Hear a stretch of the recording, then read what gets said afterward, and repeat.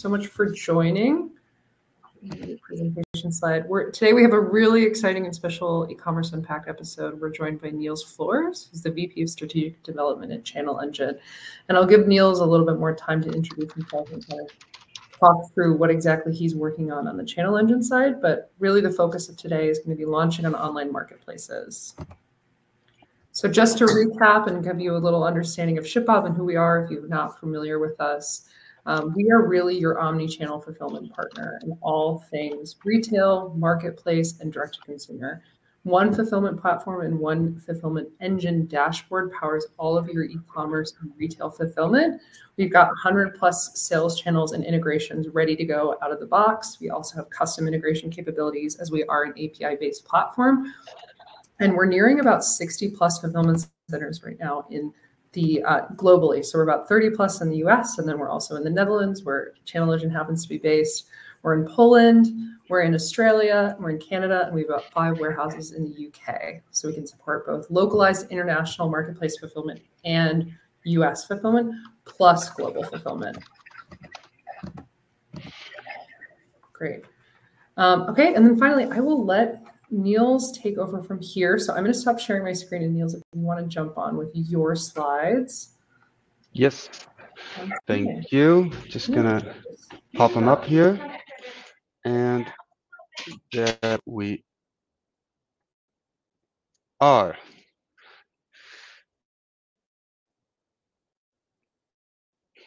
Let's see, where are you? Here you are.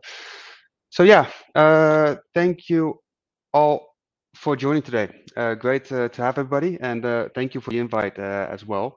Um, so today I want to take you through the uh, a bit of about launching on marketplaces and of course what we see happening in the marketplace space uh, because there's a lot of let's say developments that we see all, the, all over the world um, and th these are also what we're going to see well in different regions in the world when they're all going to leap over sometime um, so kicking it off uh, here with uh, showing you first who am I? So as uh, Meg said, I am Niels Floers, uh, VP of Strategic Development within Channel Engine.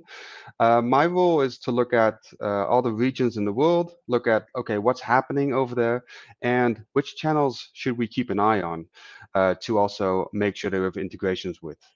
Um, and I've been in the space for, well, about 10 years now, uh, seeing all these markets develop and especially also helping Channel Engine uh, set up the sales and partnership organization around the world.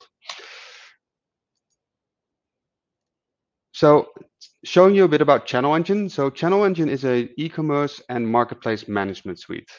So we connect with over 950 marketplaces worldwide uh, and you can think of uh, traditional marketplaces like Amazon, eBay, uh, but also a bit of newer channels like uh, social commerce channels um, are also now uh, being integrated.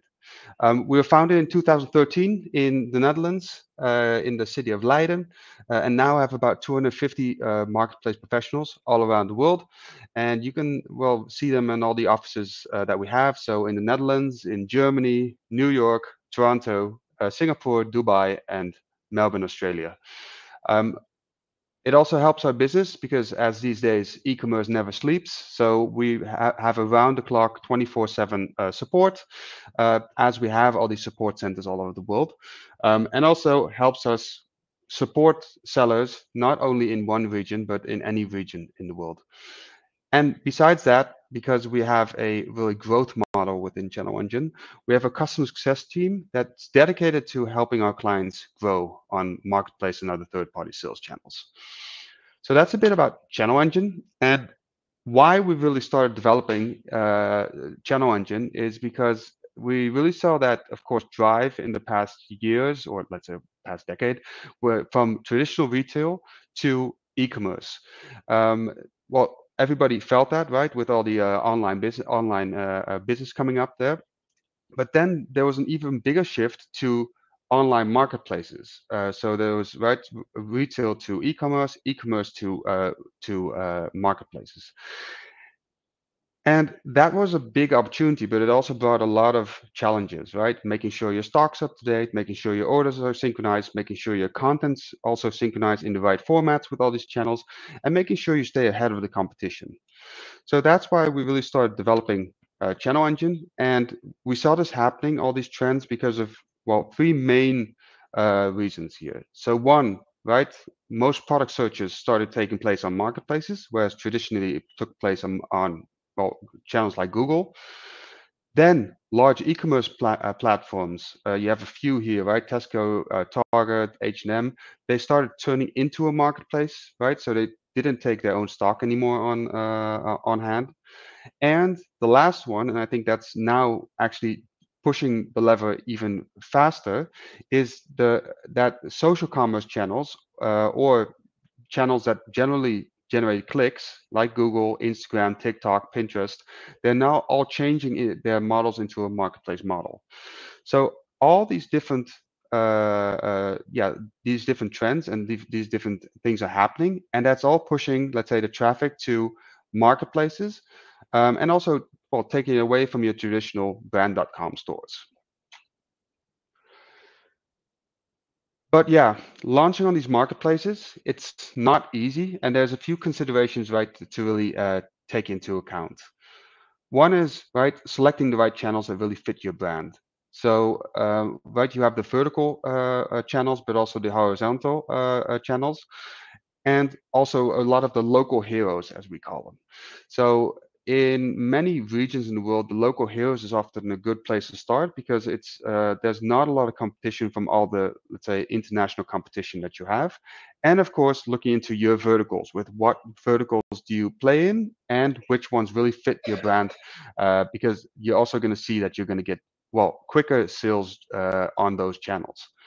And then, of course, mastering the big channels, right? Amazon, global channel, eBay, global channel. Um, all those channels, you'll see that uh, you do have to put a lot more effort in to get your sales up and you have a lot more competition, but you need to take them into your mix.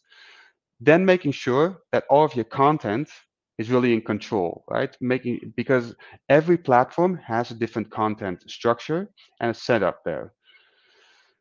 Well, those are two of the channel uh, important ones, and I'm going to get into a bit of channel engine and how you can manage this because, of course, you need to have your inventory set up, uh, uh, inventory managed over all the channels, reporting and analytics uh, to have your insights in choosing what you sell when, where, and is it profitable what you're selling on those channels? Because right, a lot of time that's hard because there's a lot of costs also uh, that you have to take into account. Then on the right side, looking at more on the uh, competition uh, analysis, profitability, uh, ma uh, managing your pricing and promotions over all these different channels, and right the strategic approach on all these channels. That's I think looking into what's your strategy on which channel, right? Are you going to go uh, in, for on a certain channel with a high discounting uh, strategy, or are you going to go for profitability? on that channel, right? Uh, th those are a few of the uh, strategies that you can think of. Uh, and it really differs uh, in which region you are, but also the channel that you've chosen. So these are some considerations when going into a channel. Uh, our custom success team often is, this is the first, or these are the uh, pillars that we look at first once we start launching channels. Um, and right then how to manage this at scale. That's, I think, the most important thing here. Of course, managing marketplaces and other third-party sales channels, you have a great opportunity to automate things because there's an uh, we have a, just like channel engine, we have the automation in place to make sure that you can manage most of the things that you that you need on marketplaces really into your the into your backend systems so that you are fully uh, so that you can look at optimization on the channels instead of all the manual things that you have to do because there's a lot that you have to do, right? Inventory management, order processing, pricing strategies, product listings, uh, analytics and reporting, and of course, making sure you are compliant with, your regulations in every region. Now I want to just take you with me on the journey and show you a bit about really in the back end of Channel Engine. So what can you ex uh, expect uh, from using a channel, uh, a system like Channel Engine? And I just have to switch to uh, this tab.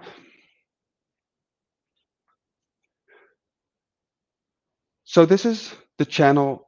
Uh, so this channel engine, and this is also the dashboard showing you in what you can expect uh, when you're using a channel engine.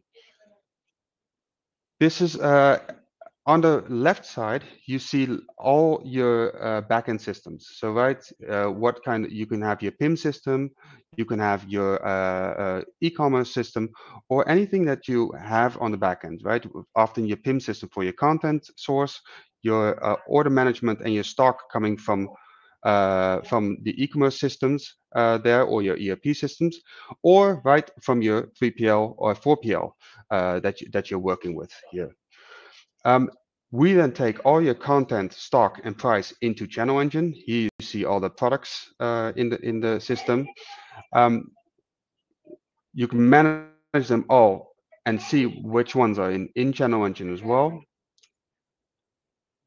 And then you can distribute these on any channel that you want to sell in, in a Channel Engine. The interesting part about it is that you can set up every channel the same way.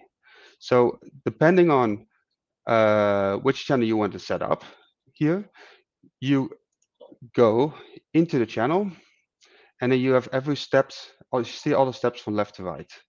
So you can start with your product selection, selecting, connecting your Amazon accounts, for example, and then just fill in your credentials. And then from there, you'll start logging into your account and then setting up uh, and then you'll be connected with your Amazon seller accounts. From there, you can then choose which products you do and don't want sold on the marketplace. So in this case, you can just put a product in there.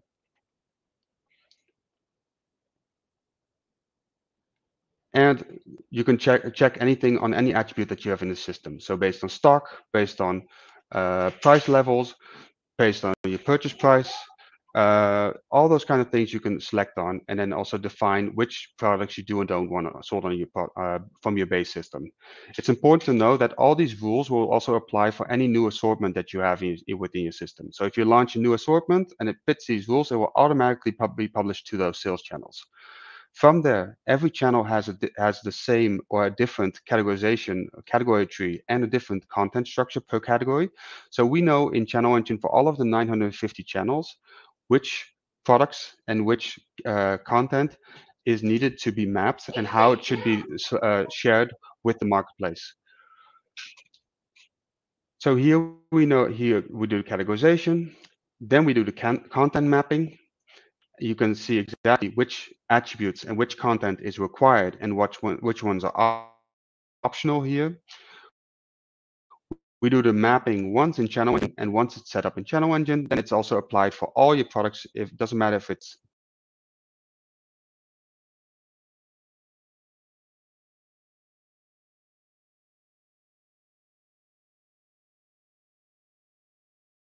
one time. That was like so such speedy recovery. We're back. Oh, there we are again. so from categorization mapping, then we go into price rules. And in price rules, you can define which price, let's say what kind of, if you want to put a discount on your promotions, or maybe even you want to add prices like shipping fees or any fees that you can think of that, that are, uh, that you have to take into account here. So you can also think of, for example, your commissions that you have to pay to a marketplace. All those price rules can be applied here. And then uh, we'll take them into account when adjusting your pricing on the marketplaces. We also have dynamic repricers, so to really compete with uh, any seller that's on your platform uh, there, because we know exactly who's selling the same products on the marketplace, and based on that, we can set up different reprices, aggressive one or less less aggressive reprices.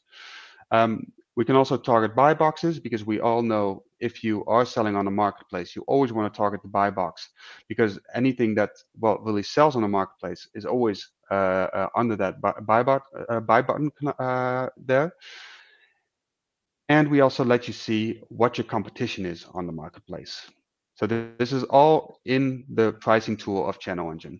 You can also set multiple reprices. So we can set a very aggressive reprice on maybe your overstock price, uh, products against maybe a less aggressive one on your new products. Once you've followed all these steps, you can go into activation mode and then you can activate, you have a checklist. And then once it's set up, you can then activate the channel and then all the products will be synchronized. Stock will be synchronized, pricing will be synchronized, and you can expect the orders to flow in via channel engine. So this is how we set up one channel, but as I said, every channel has the same setup. So I'll go to Macy's here just as, as example, and you see the same setup, same steps, and then you're live on a marketplace. So you're taking going live on a marketplace from weeks or even, even maybe months if you have big assortments to, well, you can go into uh, live within a day or hours, depending on how much availability you have yourself. Once this all works, you're going to see all the orders, shipments, and returns coming in through the order management system right into your backend so that your uh, warehouse knows, or your 3PL, of course, knows how uh, that, that they can handle these uh, orders. And then we make sure synchronization is taking place with all the shipment information needed. So we also have some really nice features in here that's going to help you with in, going international, right? Like product translation. Uh, we also have um, a VAT ruling uh, built in there with our partners, Avalara, for example. But we also uh, uh can, for your content, we can also optimize that, right? Av uh, heightening average order values with creating uh, product bundles. And product bundles can also be automated because we also have AI generated titles and descriptions. And we are also now launching our image generator so that it automatically bundles feature, uh, images for your product bundle, digital product bundles that you have within Channel Engine. Then the most powerful tool that we just launched is also really your statistics and insights, right? Really showing you with what are you selling on a marketplace for what price? And of course, the trends that are happening here. So we're just going to show you a bit of, uh, so this is also a live, well, demo environment. So there's also live data going through this because, well, one of the, uh, well, challenges with Marketplace, you don't have sandbox environments. So everything has to be live always.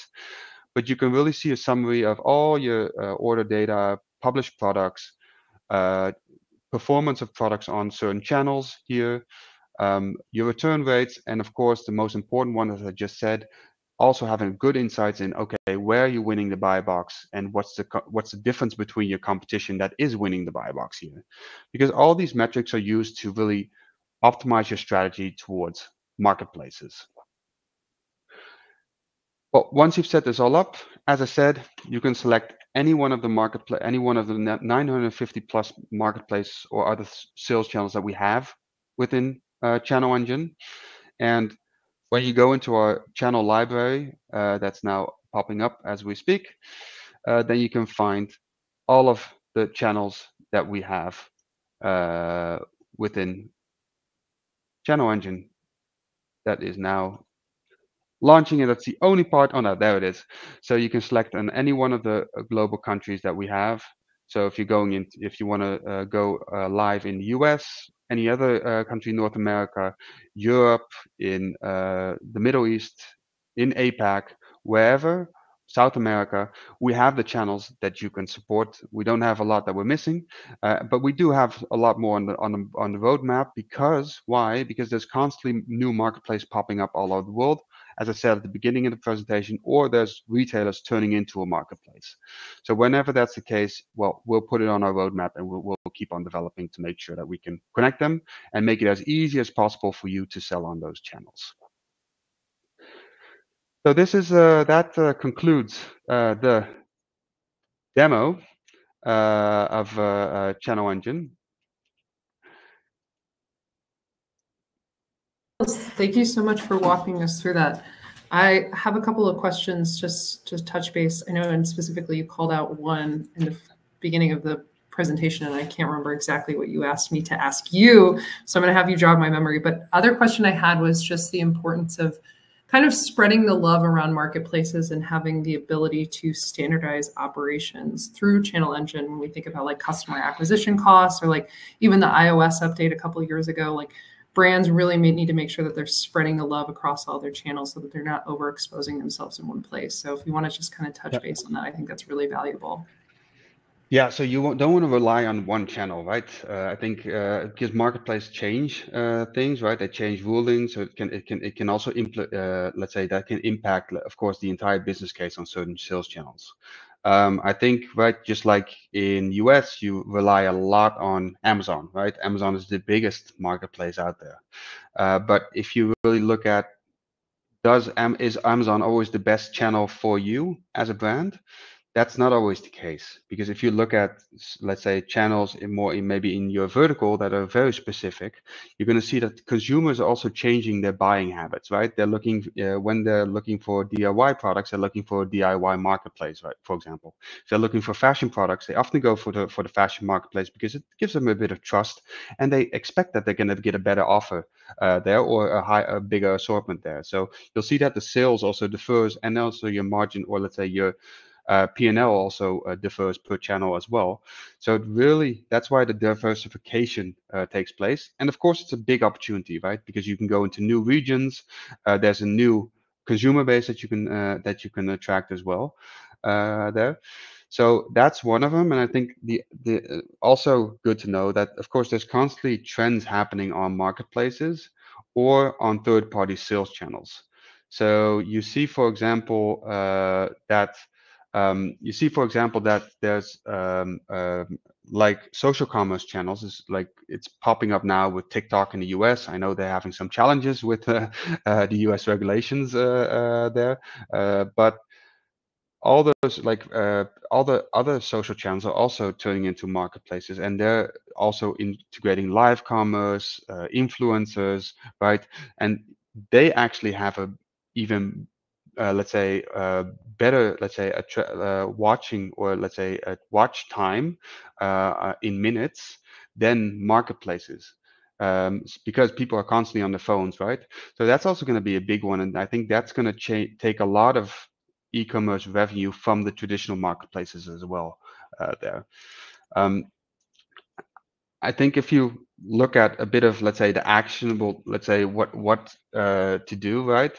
Diversify test on new channels. I think that's that's that's an important one uh, there.